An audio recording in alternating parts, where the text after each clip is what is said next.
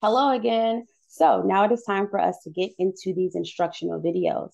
I am going to start with the enrollment coordinator videos. So if that is the position that you were hired for, feel free to follow along with me in the training manual that you should see in your Google Docs, okay?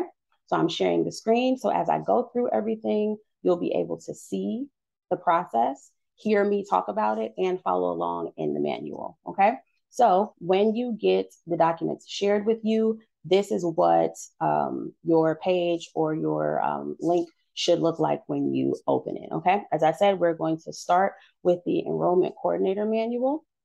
And so the first thing, just like any other sales based business, we have to attract potential clients, which we call leads. Okay. The ways that we do that is through we have an interest form on our website. So if there's parents who are interested in, in enrolling their dancer, they can complete that interest form and then we'll get an email letting us know that a parent has completed that interest form for us to follow up with them. We also have an Instagram page, which is Mayne Attraction Dance. So for anyone who follows our page, we send them a direct message that says, Hello, thank you for following us, and feel free to follow up with us if you have a dancer who may be interested in classes, even if they don't have children. You know, social media is so huge right now that allows us to create um, engagement opportunities with everyone who uh, follows our page, whether they have dancers or not, because we are also offering adult classes as well. And so even if they don't have a dancer, they may be interested in some of the adult classes that we're offering. Okay, so looking at, yeah, I think that's it. So looking at the enrollment coordinator manual, following along with me. So the first thing that you're going to do when you come into the studio every day, you're going to check the studio phone to see if there were any text messages or voicemails about parents or anyone showing interest in renting the space or um, enrolling their dancer or taking a class themselves. And you're going to follow up with them using the scripts that we have provided for you all. We like to make it as easy as possible. So here are the scripts that you'll be using depending on which way you're engaging with people. So we have, um, and they're all listed and titled so you know exactly which script to use with um, which whichever person that is asking you for um, information. So we have an IG follow, we have a parent interest. So once the parent completes an interest form, or once we send the DM that says thank you for following and follow up with us if you have a dancer that you want to enroll. If they say yes, we say, hey, this is how you can join us. You can either uh, join immediately by registering for classes, or you can try a drop in class and that's those are the links that we send to them once they sign up for open house then we send them another message so there's there's a continuous interaction with our leads because the more interactions we have with them the more friendly uh, follow-up that we're able to offer them the more likely they will be willing to take a class or um, enroll their dancer in a class. So the the scripts for text and emails make sure that you are depending on which thing you are doing whether you're sending a text message or an email make sure that you are sending the correct script because they are similar but they are different depending on whether it's an email or a text. So just be very mindful about that. Open house email and all of that jazz. So i'm going to get into that a little bit later. So as I said, you're going to start by checking the phone every day to see if there's any voicemails or text messages about interest. Then you're going to check the studio email and our Wix app. So our website is done through Wix.com. And so Wix has apps that allow us to track our um, that allows us to track our interest forms, allows us to track people who are um, going to the page for other reasons. So, for instance, our parents who have already enrolled, if they're going to the website to pay their costume or tuition fees. So, you're checking our interest form function for any for anyone who may have um, signed the, the interest form.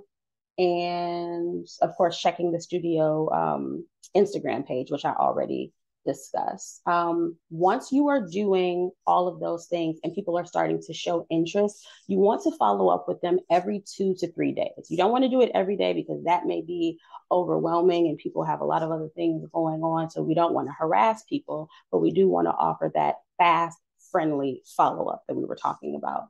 So continue to reach out to all of our potential uh, clients or our leads every two to three days until you see that they have started the next process in, you know, registering for a class or registering for a trial class, or if they tell you that they need time and they're not interested or they need to revisit it at another time. And there is also a script to send for those as well. And keeping a to-do list or a checklist for yourself that uh, that reminds you that you may need to reach out to these people, even if it's a few months from now. Just keep a running list of how people are responding so that you know when to follow up with them based on the timeline that they're giving you. Scrolling through the manual now.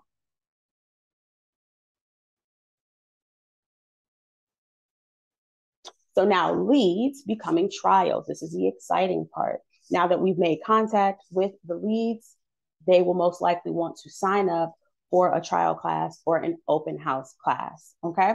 So when you're sending them the link, this is most likely what it's going to look like. It may have a different uh, graphic up top, but this is pretty much the gist of it. So it has the information to allow them to uh, type in their dancer's name, age, which classes they're interested in for their dancer, how many classes they've chosen total, and then uh, the parents giving their contact information as well so that we can follow up with them.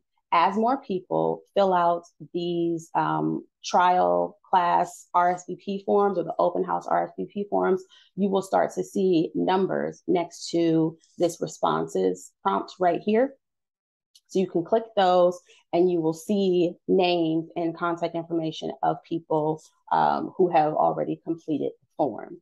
You will also see this little document here that allows you to create a spreadsheet so that you can view all of the responses in a nice spreadsheet, columns and rows form. It's really great for me because I just I love things that are organized. I don't know if you can tell.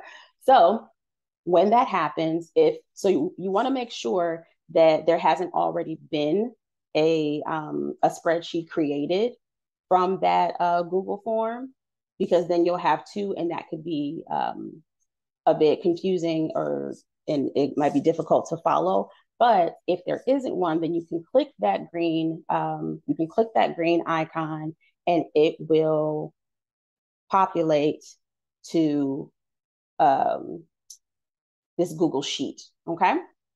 So, of course, these names are just sample names so that you can get an idea of what the sheet is going to look like. I'm going to make this a little bit smaller. So once you click that green icon, it'll have the same title as the uh, the Google form. So that helps you keep it all straight because we have multiple open houses throughout the throughout each semester. And so you want to um, make sure that you're looking at the right one so that you're contacting um, our current leads because a lot of the leads from our current um, from our previous spreadsheets thankfully will may already be members and so there won't be a need to contact them in terms of enrollment. That will be the office assistant's job to then follow up with them as actual members of the studio. So once you look at this sample sheet you're going to scroll over this way to see who has submitted the payments of course because this is an open house class, there is a fee for the class. Right now it's $15. It may change, but right now it's $15. And when so this is these are columns that we add to the to this list. They are not um, a part of the response sheet, but it's for our um, our reference so that we know which parent has already paid, which date they paid, and the method that they paid. PP is PayPal. Cash, of course, is um, cash. And then Cash App is we also have a Cash App that parents can use. If the parent um, pays the day of and they use a credit card, we will still input that data as the date and PP because our point of sale system is um, PayPal. So when they use a credit card, they are still paying through our PayPal system. Okay.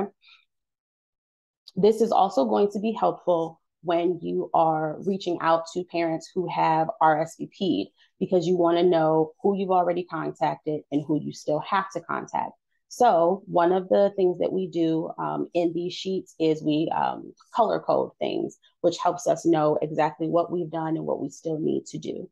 So as I'm reaching out to parents, the last parent that I reached out to, I'm going to highlight them in lavender, okay? So it's easy to remember because L last, L lavender. So this is the last person that I, um, this is the last parent that I reached out to so obviously that means that this parent must have filled out the form after I contacted all of these parents. So this um, this cell being highlighted in lavender lets me know that this is the last person that I contacted and I need to follow up with this parent because I have not reached out to them yet. So, and once I do that, then I'm going to delete the lavender highlight from this cell, and then I'm going to add it to the last parent. So each time you go further down the list and you're reaching out to parents, you want to remove the lavender highlight from the last parent that you talked to and then move it down to the most recent parent that you talked to, if that makes sense. So once you've done that, we're good to go. We they've gotten the information because you sent it. You sent the the open house script to them. Um, via email and text. Okay.